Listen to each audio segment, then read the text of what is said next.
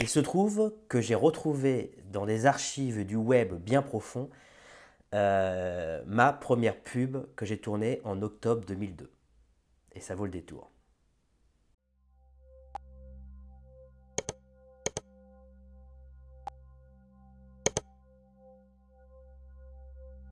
Eh, admire le French Lover avec crème de yaourt. Hello, uh, French yaourt? Pourquoi pas? Crème de yaourt, c'est un yaourt avec juste une pointe de crème qui le rend très onctueux. Crémeux. Ah, but trop gras. On élimine tonight euh, sous ma tente Crème de yaourt juste 5% matière grasse. Sorry, on élimine plus tard. French Rato Crème de yaourt de Danone. Profitez-en, c'est un yaourt. Coucou les amis, bienvenue sur cette dernière vidéo de l'année 2019 qui enfin se termine, en espérant évidemment que 2020 sera meilleur.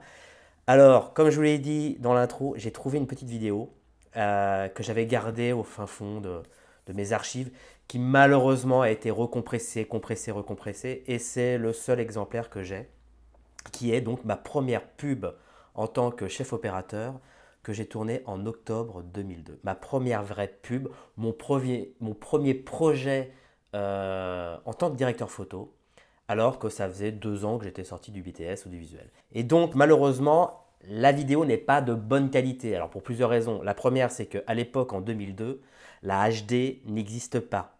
Le 4K n'existe pas. Euh, les RED, les Canon 5D, les GH5, les Blackmagic, tout ça, ça n'existe pas.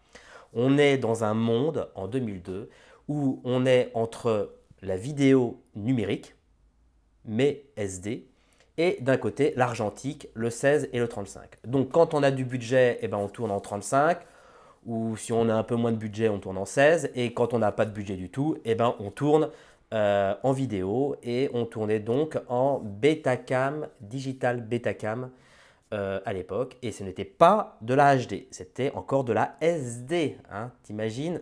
SD, 575 lignes. Voilà, donc euh, la vidéo n'est pas forcément de très bonne qualité, évidemment. Euh, là où on est habitué d'avoir de la HD, du 2K, du 4K, forcément ça pique les yeux. Et en plus, la vidéo est compressée. C'est une vidéo que j'avais utilisée à l'époque pour mes sites internet quand je me vendais en tant que chef opérateur.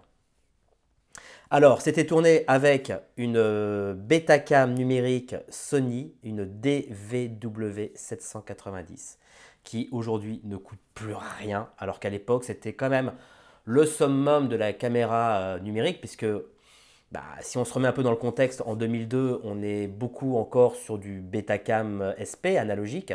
Euh, le DVCam a pointé son nez, mais ça reste du format, on va dire, un peu semi-pro amateur, parce que c'était du 4.2.0 8 bits. Là, on est quand même sur un support euh, qui est quand même assez robuste en termes de, de, codec, puisqu'on est sur du 4.2.2, si je ne me trompe pas, on est sur du 4.2.2 10 bits.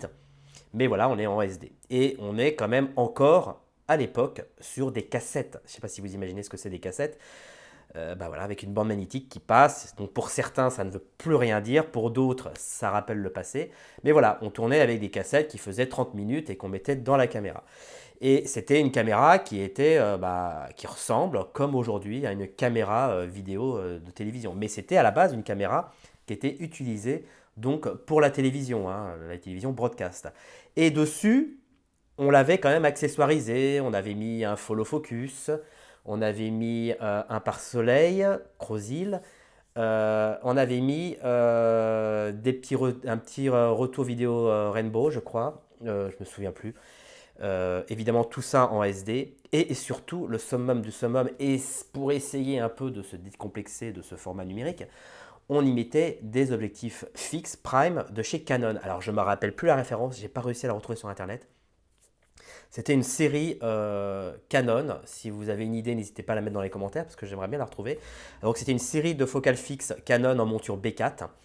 Euh, voilà, euh, qui était à, l'époque à disposition chez les loueurs, puisque le matériel à l'époque avait été loué chez FAV, France Audiovisuel. Et donc, il y avait euh, cette série d'objectifs euh, fixes Canon, euh, qui était donc en monture B4 pour du capteur de tir de pouce. Donc voilà, donc on utilisait cet objectif-là, on avait un peu l'impression de, de, faire un peu du cinéma. Et aussi, à l'époque, dessus, je me rappelle très bien, j'avais utilisé des filtres de diffusion qui s'appelle des White Promised. Alors des White Promised, euh, il y a notre ami euh, de Monsieur Caméra, de David, qui nous a fait un truc pas mal sur les filtres diffusion où il parle des Black Promised. Et bien là, c'était plutôt des White Promised. Ça veut dire que la différence entre un Black Promised et un White Promised, c'est que en gros, euh, les petits cristaux que vous avez, qu'en fait, quand vous regardez un filtre Black Promised, vous voyez un peu des petits cristaux sur les Black Promised, ils sont un peu teintés noirs, et sur les euh, White Promised, ou on appelle ça parfois des probistes, euh, sans forcément mentionner le mot white, eh ben c'était un peu des petits cristaux un peu blancs, et ça avait tendance à, euh, dès que vous mettez une haute lumière, à évidemment baver de partout. Alors à l'époque, quand on me propose cette pub, je suis tout fou parce que je gagne une genre de compétition alors que je n'avais rien sur ma bande démo.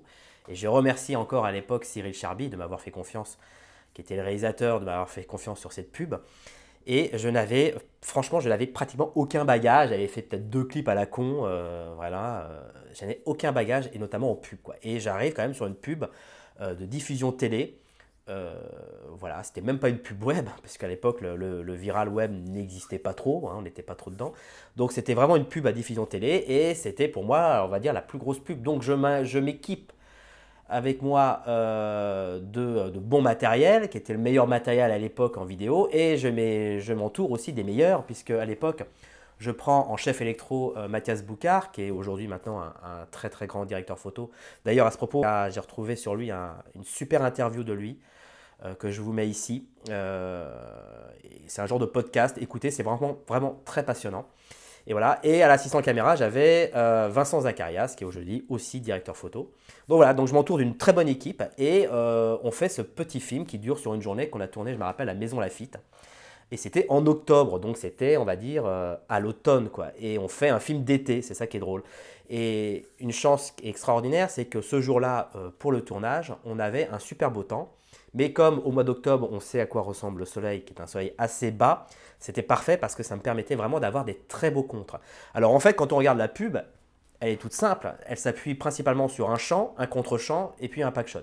Donc en fait, ce qu'on a fait, je me souviens très bien, j'avais fait les repérages et j'avais euh, fait en sorte que le matin, on fait tous les champs.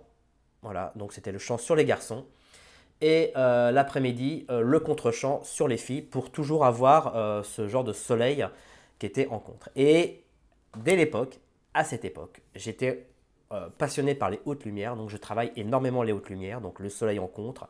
Et à la face, je rattrape avec du HMI. Alors je sais plus ce que c'était, du 12 ou du 18, vraiment des très très grosses sources. Ce qui est dingue, c'est que dans cette pub-là, alors que aujourd'hui bah, c'est une pub qu'on tournerait en Alexa ou en Red. Hein. Euh, à cette époque-là, il y avait quand même un peu de budget pour la lumière et on pouvait quand même sortir de très grosses sources, des 18 kW, de, des 4 de diff, etc. Et on avait aussi de la machinerie, parce qu'en machinerie, on avait une genre de dolly, une Piwi. Euh, je ne sais pas si c'était une Piwi, une dolly, aucune, je, pense que c'était plutôt une dolly. Voilà. Et donc, euh, on avait du rail, voilà, on avait des mouvements de caméra. voilà. C'était assez, assez dynamique, c'était assez passionnant. Et ensuite, ça a été euh, monté sur Avid et étalonné à l'époque sur, euh, je m'en souviendrai toute ma vie, sur de l'Avid DS, euh, qui veut dire Digital Studio, je crois, si je ne me trompe pas. Ça a été pour moi une expérience super enrichissante. Voilà, j'ai franchement adoré. Ça m'a conduit après à faire d'autres pubs, mais réellement, ma carrière de chef-op, elle a vraiment euh, commencé, on va dire, 8 ans plus tard. donc euh, voilà, donc il a fallu attendre. C'est pas parce qu'on fait une première pub, un premier projet que forcément ça démarre après. C'était très long et c'est là que j'ai compris que devenir chef-op c'était quand même plus compliqué que prévu. Voilà les amis, c'est fini pour cette dernière vidéo de l'année. Je vous souhaite de très bonnes fêtes. Je vous dis à la rentrée et euh, en attendant, bah ciao